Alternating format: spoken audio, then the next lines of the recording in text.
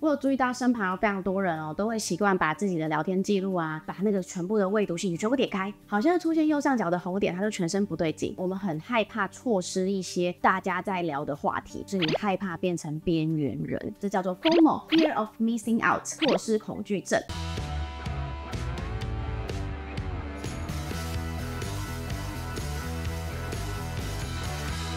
把生活想成诗，让心灵更舒适。欢迎收看 Ariel 聊心事。Hello，大家好，我是 Ariel。我有注意到身旁有非常多人哦，都会习惯把自己的聊天记录啊，把那个全部的未读信息全部点开，好像出现右上角的红点，它就全身不对劲。或者是你在看你的动态的时候，把它全部点开，在睡觉之前变成一个必做仪式，好像内心有一个很深层的焦虑，非常害怕错过朋友的今天发生了什么事，去哪里？这叫做 FOMO（Fear of Missing Out） 错失恐惧症。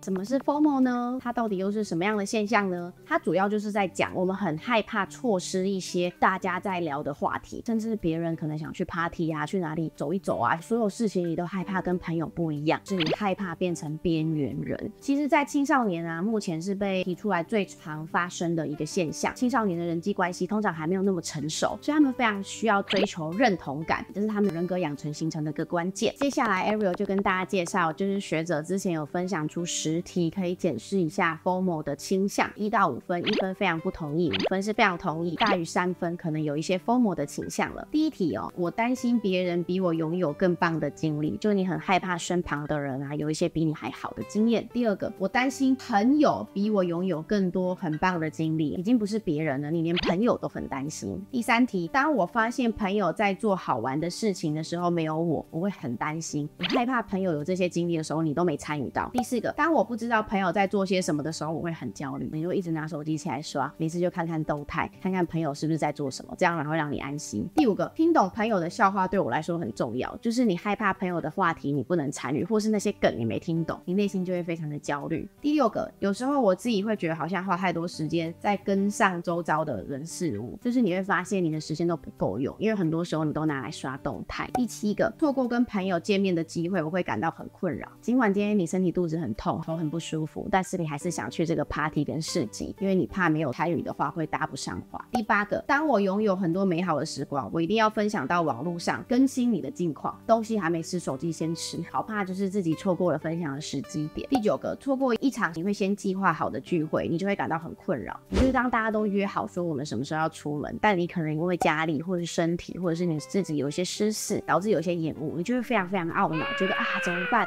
说好的计划怎么会没跟上呢？第十个，就连在度假的时候，你也会持续 follow 朋友在做些什么。就是你可能已经好不容易存钱出国旅游了，结果你办网卡不是为了当地查有什么好吃好玩的，你是为了要看朋友有什么样的动态近况。当这实体啊，每一个你只要有发现大于三分，可能在那个现象上，你就有一些疯魔的趋势。有这些趋势不是为了给自己贴标签，我们的目的是为了有更高的觉察力，知道说，哎，自己掉到这个困境里面了，我们是不是可以用什么方法让自己的生活过得好一点？所以这个。让大家有一个参考的指标喽。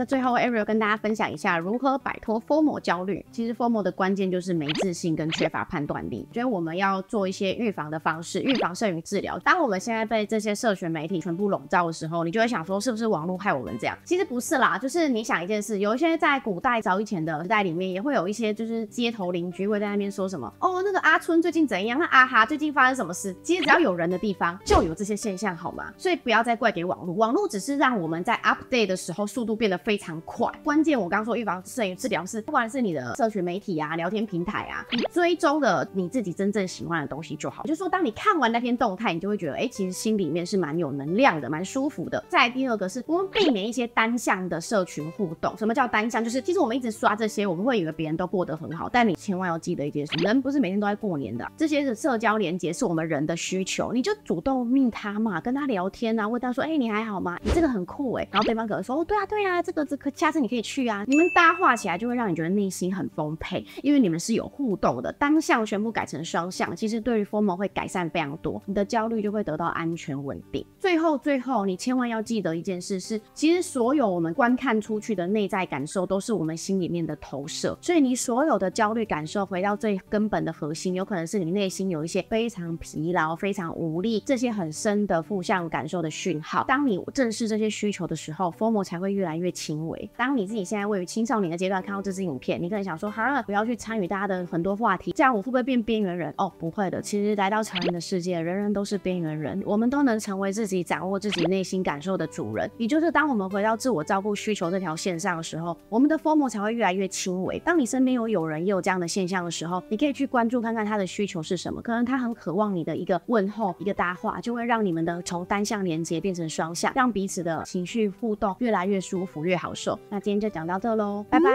哎、啊恁阿哈最近是去倒佚佗啊？啊过了安那？啊刚有因孙刚有回来哈？啊你因过了敢有欢喜？这就是错失恐惧症，因为他一早起来就想 follow 上别人最近假日过了什么行程。你看吧，所以跟网络无关，重点是哪个焦虑。喜欢我们的影片，请按喜欢、订阅并开启小铃铛哦。